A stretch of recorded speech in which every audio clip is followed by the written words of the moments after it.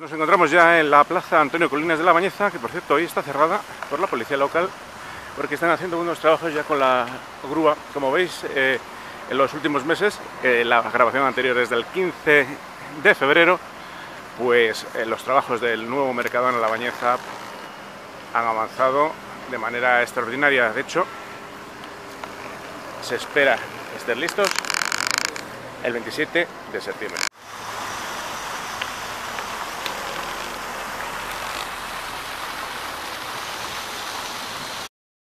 Si te gusta nuestro canal y quieres seguir viendo más vídeos como estos, suscríbete. Es gratis y YouTube te avisará cada vez que subamos un vídeo. Y si te ha gustado este vídeo, dale un like. Muchas gracias.